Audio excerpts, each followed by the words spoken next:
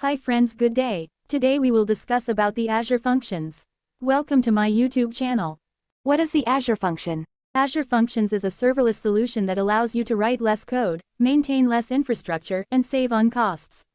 Instead of worrying about deploying and maintaining servers, the cloud infrastructure provides all the up-to-date resources needed to keep your applications running. Azure Functions is an event-driven, serverless compute option that doesn't require maintaining virtual machines or containers. If you build an app using VMs or containers, those resources have to be running in order for your app to function.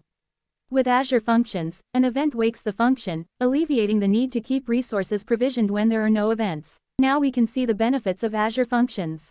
Using Azure Functions is ideal when you're only concerned about the code running your service and not about the underlying platform or infrastructure. Functions are commonly used when you need to perform work in response to an event often via a REST request timer, or message from another Azure service, and when that work can be completed quickly, within seconds or less. Functions scale automatically based on demand, so they may be a good choice when demand is variable.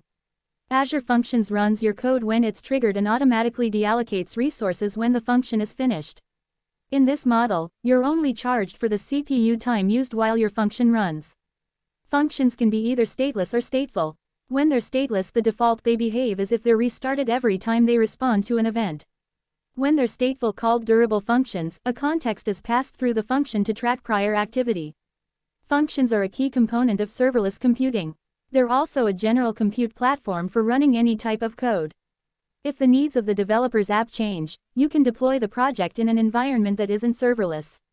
This flexibility allows you to manage scaling, run on virtual networks, and even completely isolate the functions. Thanks friends for watching the video. Please like, comment, share and subscribe.